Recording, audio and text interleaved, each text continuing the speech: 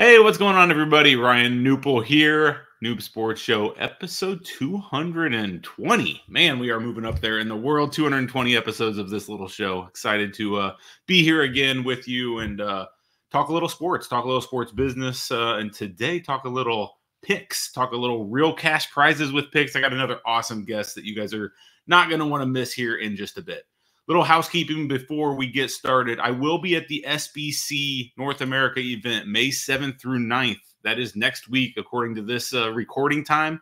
Uh, if you're going to be at this event, please let me know. I'd love to sit down, talk with you, chat with you, even just say hello. If you listen to this show and you see me pop by, say, "Hey, I'd like to listen to your show," gives me a little bit of encouragement that there's at least one listener out there to this uh, to this show. But uh, if you have not got your ticket for this event, please use Knup Partner VIP as a promo code. You'll get a little money off uh, with your ticket.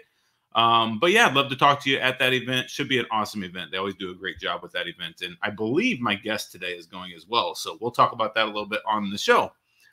All right, that's it for the uh, housekeeping. Let's jump right into the show. Let's bring on my guest. Today I have Brett DeBari of WinStreakz. Brett, how are you, my friend? Hey, good, Ryan. How are you doing? Doing amazing, man. Doing really good here in Orlando, Florida. You're over in Arizona, right? Yeah, right in Scottsdale. So uh, perfect time of the year. I know. I like the 85 to 90 degree weather.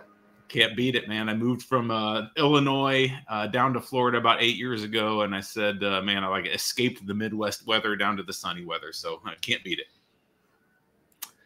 Awesome, Brett. Well, let's dive in here. I'm excited to learn about you and WinStreakz and what all's going on there. Um, so first off, tell me about yourself. Tell us what makes you tick. What you know, kind of your career path that led you into starting WinStreakz. Yeah, so always been a big sports fan. Uh, that's you know that's my jam. Grew up in Connecticut, so you know not to kind of brag or whatever, but two nice national championships uh, for the Huskies uh, the last two years, and this one was in Glendale, so that was fantastic going to that one. Um, but yeah, always been a sports fan. Played Division three college basketball. Didn't really play, but was on the team and uh, just always had that that knack for just competitiveness. And when I realized my career was over, uh, I wanted to get into sports, but you know, making money in tech sales was the thing to do in 2004, 2005, all the way for the last you know 15, 18 years. Uh, but the last job I had was working at Amazon AWS. So mm-hmm. did startup sales. I had about 150 customers all along the uh, West Coast, and cool. was really talking to a lot of entrepreneurs about how they got their starts, how they raised money, and I was like, you know, let me take a stab at this and found an accelerator program called On Deck. Uh, hmm. it was great. I got into their program. They had about 10,000 applicants. They brought on 120, gave us or invested, not gave, uh, 125K to each of us to run our companies. So that's how I got my start about a year and a half ago. And since then, been building out the app. Not me personally. I've had some developers doing it. I'm the uh, sales guy, the idea guy, the business guy. And uh, yeah, we're rocking and rolling. Been in the app store for six, nine months and almost have a thousand people playing per week. But yeah, that's kind of my thing. I like it, and I'm able to enjoy what I'm doing versus selling cloud storage, which people don't even know what the cloud means, and you know most of my customers don't, but they just know, hey, Amazon is running the world, and I was happy to be a part of that for a while. That's awesome. That, that's what I love about that first question. Is it's funny because eh, everyone has their own unique story to where they got to today, but a lot of us in sports it all starts with just man we just love sports. And when we got out of playing sports we had to find some way to continue down that sports realm. And that that that answer is consistent across a lot of entrepreneurs in this space which is just a an amazing thing to hear. And i can relate with you. I played uh, division three basketball as well. So uh, a couple fellow d3 basketballers here. I was more of a cheerleader on the uh, on the bench but uh but yeah, no, it was good though. Again, keeping keeping that up after AAU and high school basketball was again staying competitive. And then when I realized I wasn't good enough because I'm you know five eleven and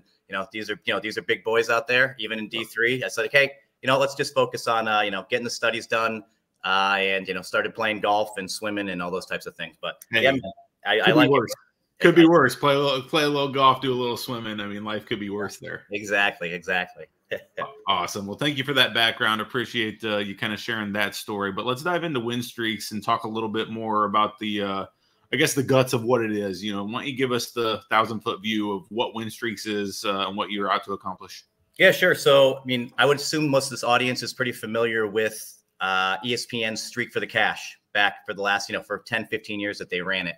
And, you know, it shut down last August but they had over 3 million people download and play that app and even at the end over 125000 people logging in every day and from that standpoint, no, you know, nobody really ever won any prizes. Let me ask you, Ryan, did you ever play Ryan and did you win? I played a few times. I don't think I ever won. No.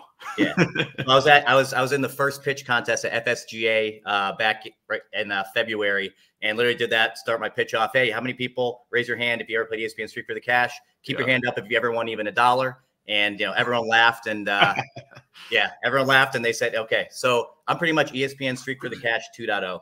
Uh, so instead yeah. of having to build a streak of 30 wins in a row yeah. and one person potentially winning $10,000, which some months doesn't even happen, you pick five games a day and it's a weekly contest Monday through Sunday. And 100 people win prizes anywhere from a dollar to $100 per week. And if you hit 2,000 points, which the odds are around 20,000 to one instead of the over a million to one for ESPN streak, uh, you can get you can win $2,000. So 2,000 points, $2,000. That's really cool. That's awesome. So let me first ask you. So uh, comparing it to the ESPN product, because I think everybody is familiar with what they had going on, but I don't know that everybody's familiar that they even shut down. Right? Why did they shut down? Was it just one of those? Uh, uh, I'm sure you're familiar with why. Was there a why to why they shut down? So there's so I'm not familiar. I can only speculate. But my yeah. main thing is, you know, they probably ran out of people downloading the app, so it didn't make sense to continue to market it and those types of things. And you know, they made the whole acquisition with Penn Gaming so they run ESPN Bet. So I think they already had all their free to play players to convert, and they don't want people spending their time on free to play games. They want them to spend their money. I'll, I'll say risk their money, but more spending because it's very tough to win gambling, and as we all know that. But yeah, I think that's the main reason they already had those people, and they want to more focus on their ESPN Bet platform. Yeah, so talk a little bit more about the the free to play, you know, mindset with this. So is it truly free to play? Like I don't have to deposit any money or anything to be a part of it? Absolutely. So you sign up and we, we take your your name, your phone number, your email, and you have an account. You put your username in, and that's it. Uh, you can spend a dollar in the app to get these things called boosts. So mm-hmm. if you ever want to spend money, you can only spend a dollar at once, and you get 20 free boosts. But you can also earn boosts by getting points, mm. by uh, watching advertisements in the app. So yeah, zero zero deposits, and yeah, you can win anywhere from again a dollar to a hundred dollars per week, if not two grand. And we really want to focus on those types of people that, and this is kind of where I say, you know, some people don't smoke, some people don't drink, some people don't gamble. It's just things they don't do. And we want to focus on those types of people that enjoy sports. They want to have that rush of picking winners, rooting for their teams, and potentially moving up a leaderboard without having to deposit their hard-earned money. And that's really the the market that we're going after, and we've been doing pretty well so far. That's awesome. Tell us about. Uh, congrats on that, first of all. But tell us about uh, how it's been going. So, where are you at in the product life cycle? Uh, you know, I see you. You know, you do have apps out here. You're you're rolling. Tell us a little bit about where you're at in the product life cycle. Yeah, so we've been live for you know closer to nine months. We've had some bugs in the past, but pretty much you know the last two or three months we've been solid. You know everything's mm-hmm. working. You know those are the things. The bane of my existence is is uh, app issues, but got a good developer on the team, and we've been able to test and get all these bugs out. But yeah, since then, you know, we've grown almost to a thousand players, and we've spent under ten thousand dollars in marketing. Uh, that's most of the money went to the development of the app. Uh, we're seeing about 25% of the people that are joining now are from referrals, and we do have a great referral program. So Ryan, here's kind of what we do. Instead of you know giving people dollars for referring friends, we give you a referral bonus when your friends win. So let's say hmm. I referred you, you won that first place for $100. You get $100, I get 50. So wow. we're, we're, trying to partner with influencers or just, you know, influencers that have maybe 10, 15, 20,000 followers and they can refer 100, 200, 500 people or just individual people, maybe like I, you know, at a frat who runs his frat and he's like, "Hey, everyone use my code." And then he's winning when his friends are winning. So instead of rooting against your friends, you're rooting for them because if they win, you win too and we've got a cool feature on the app itself where you can see everybody in the that. app and everybody in the app is in green that you referred. So you can see, hey, they're winning five dollars this week. They're winning two bucks. They're winning a hundred, and you can see that. And every week you'll see a list of those people broken out and how much you won based on what they won. So a new way to push referrals versus you know just saying, hey, get it five dollars per sign up, and then all of a sudden those yeah. people disappear. So we're seeing better retention with that. I bet. I love that model. I think that uh, really encourages uh, longer standing, you know, uh, interest in in how your referrals do, right? Because yeah, the whole traditional mindset of oh, let me bring somebody in, then I don't really care. I get my five dollar commission and move on. I love that. Now I can kind of put a little vested interest in. Well, one, I mean, and if you have a community, you can actually help each other try to win, right? Like it could be part of that whole model. So I, I love that model. That's that's pretty cool. Awesome. And then yeah, we also like in those things, uh, you know, you can have your own group, right? So you can create a group. You know, if you want to send out your picks, we had one guy actually sending out his picks and had all these different people following him. And one week he finished third, and he had like seven or eight people in the top ten with all his same picks or very close. Because some people probably say, "Hey, I'm going to change one thing around and maybe take yeah. advantage." But no, he had about 25 to 30 people in the top 100. Uh, he not every week is he he's, is he that great of a picker, but you know it's one of those things where you have a whole group following you and you guys can win together, which is fantastic. So you've already mentioned a couple differentiators, but what I want to, you know, I, I know the free to play space sometimes can be a crowded area. There's a lot of companies kind of after that, or there have been on and off, you know, a lot of different products out there that are going after the free to play market in the sports and sports betting space specifically. Um, tell us a few ways that WinStreak's a little different than the other products that might be out there. You know, what what differentiates you from other um, other platforms that might be in your competitive space?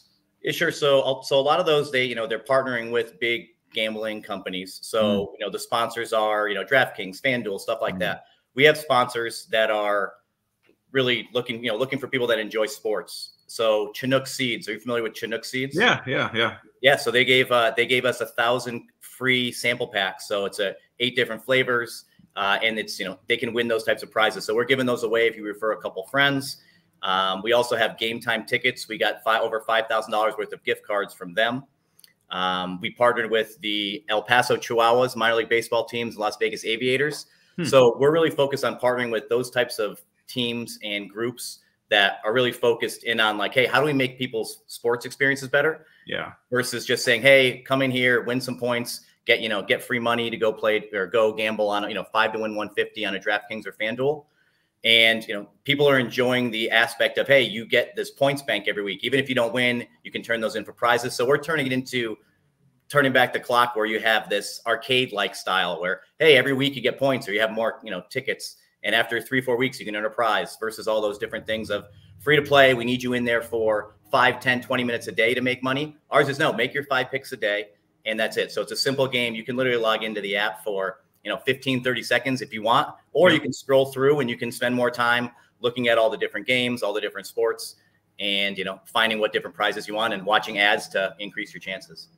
And so those five picks that you make every day um, are cross sport. They can be cross sport. They're not just, uh, hey, five in MLB and five in NBA and five in NFL. This is a cross sport thought mentality, correct? Yeah, so we have just the major six, right? So MLB, NHL, NFL, um, NBA, and then and then college football and college basketball. So right now you might have three or four NBA games going on, you know, three or four NHL games, and then 12 to 15 MLB games, and you pick any five. And the way that you get it's not just a point per win. So if you have an underdog and you take them, you're going to get more points than if you take a favorite. So the Celtics last night they're favored by 10 and a half points. We use money lines to convert the points. So if you took Got the it. Celtics, you would have gotten maybe, I think, 18 or 19 points. And you took the Heat, you would have got 80 or 81 points. So it's a 100 point scale. So you take the underdogs, you get more points, but you could also lose those games and not get any points. Yeah, I love that. Simple, you know, simple and uh, easy to use. I think is is a key to this space. You know, there's a lot of these that get super convoluted and complex that you just kind of get overwhelmed. And uh, I love the simplicity of this model. Um, sounds pretty cool. Uh, but one thing I wanted to ask you and touch on um, is the marketing side. You know, you mentioned that you only spent, you know, maybe 10 grand on marketing. So haven't really put a, a bunch into marketing. So how do you get visibility? Because the, the name of the game here is getting people and getting eyeballs and getting people into the space. What's your game plan and experience been on the marketing side for this? Yeah, sure. So we, you know, do some posts on Instagram, Twitter, Facebook, mm-hmm. uh, TikTok, stuff like that. But just brought on a CMO, a fractional CMO, to really that has worked in the app space. So understanding how to grow apps and where to spend marketing dollars and who to reach out to. But the main thing that I've been able to put together, and I've gotten some good traction, especially from the FSGA conference and just reaching out, is partnering with other fantasy apps or people that have big, you know, subscriber lists in the sports space. Mm. And the partnership I have there is hey, if you guys want to share your lists with us, or for example, send a message out. So let's say, let's say Knup Sports wanted to put together an email saying, hey, everyone, you know, come download WinStreakz. Instead of me paying per download, I'm paying or splitting the ad revenue that I'm getting per player. And it's about mm. 50 cents per month that I'm getting, you know, just on the ad banners that are showing there, no money out of people's pockets. So sure. if I have a,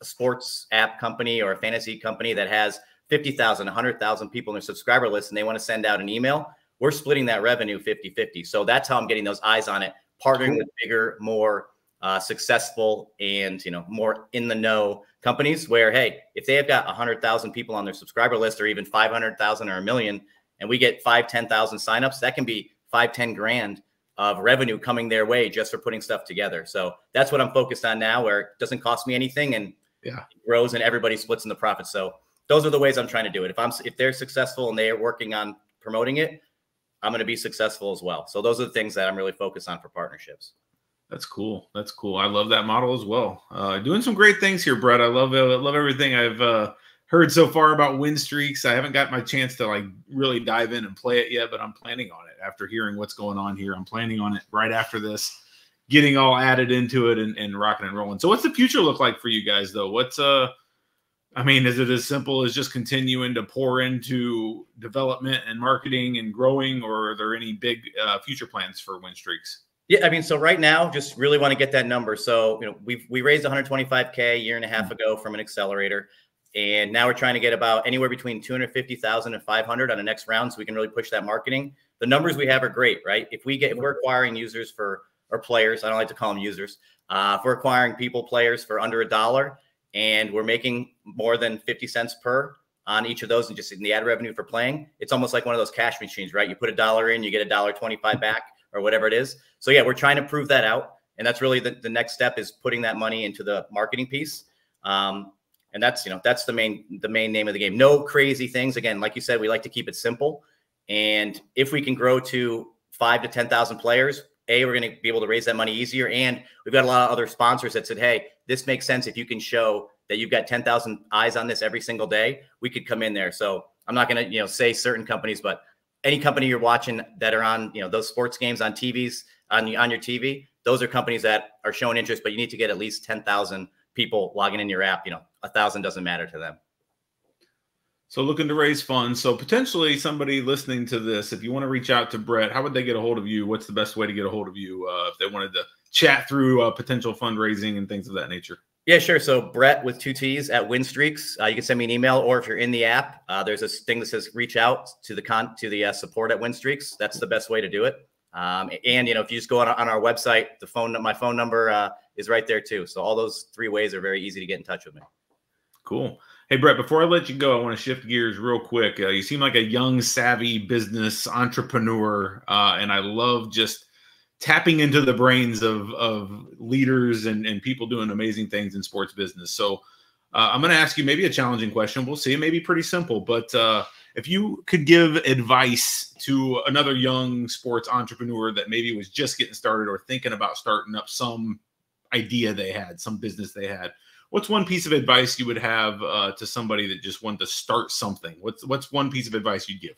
Yeah, so great question. Uh, I guess the easiest, the first step is do your research. So before you start something, uh, take a look at what's out there. And mm. if there's things like your idea, see why it failed or why it's doing well. Mm. Uh, because it's tough to put a lot of money into something and then realize three, six, 12 months down the road that it's not going to work. Yeah. And also, you know, going to these types of conferences, people are really friendly in this industry. Um, I don't, so you might not think it because gambling and people are trying to take money and da da da.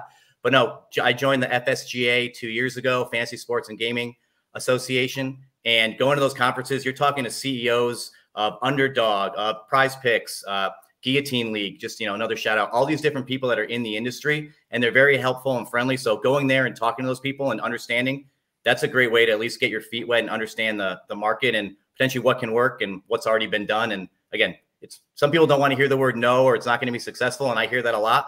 But if, as long as you understand where the no's are coming from and you figure out the whys, and if you can combat those no's and turn them into yeses, that's the way to do it. But yeah, you don't want to be running and spending all your time thinking about something versus being able to execute or at least knowing what's happened and why other people have failed. And if you can come up with the ways to make yourself successful where other people fell short, that's how you're going to make a winning business. Great advice. Great advice, Brett. I hope uh, there's some young ears out there listening and eager and ready to start something that take that to heart before they do. So thank you for that advice. And speaking of uh, conferences, are you going to be at the uh, SBC conference coming up here in early May? 100%. Yeah, next week. I'm uh, flying in, flying in Monday night. So yeah, Tuesday, Wednesday. I just found out I haven't been to an SBC before, but found out Thursday is going to be a good night too. I guess everyone goes into Times Square and there's a big uh big party and everything. So looking forward to staying the whole the whole uh, three day conference and meeting a lot of people and reconnecting with people that I've met in the past. Absolutely, the SBC conferences are like none other, man. They're really really fun, and uh, the night events are always a great time. So I'm looking forward to everything about that, and I'm looking forward to sit down and chatting with you. So let's make sure we make that happen as well. Awesome. And before we go, because I feel like we're closing, um, anybody who downloads WinStreakz that's listening to this, I want to make sure they get a you know a bonus. So we have these things called boosts. So if you lose a game, you don't get to get your pick back unless you use a boost. So if you sign up and use code Knup, then you're going to get 50 free boosts. So just put in KNUP and you're going to get that. So I figure a little shout out there to you. And then again, anyone uses that code, you're going to get 50% of their winnings too. So I uh, figure shout out to you, Ryan, for having me on your show today. I love that. No, thank you. Appreciate it. And uh, I'd urge everybody listening to do that. And we'll make sure to post that on the site as well and uh, try to get some people in and man, maybe we can get some winners. Let's get some let's get some winners out there, win some streaks. That's uh that's what it's all about. Love it, man. Thank you for having me again. I appreciate it. No, really appreciate you being here uh, for sure, and uh, look forward to all the success that uh, is to come from WinStreakz. And if you ever need anything from me, make sure to reach out. So appreciate you being here, Brett. Absolutely, and I'll see you next week. All right, take care. Thank you. All right, that was Brett DeBari of WinStreakz, episode 220. Uh, seems like an amazing product and an amazing individual uh, in this space. So I urge you, if you, if any of that was interesting to you, and you have other questions for Brett, or uh, you want to reach out regarding working potentially with them, please make sure to reach out to Brett. I'll put the links to him and the emails and stuff that he said in the show notes uh, for your for your research for later. All right, well that's uh, episode 220. I hope to see you all at SBC again. Knup partner VIP. If you have not got your ticket, make sure you can get a little discount uh, on your ticket if you have not yet.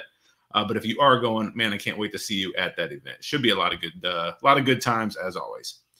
All right, I'm Ryan Knuppel checking out from episode 220. Take care, stay safe, and we'll talk to you in the next one. All right, talk to you later.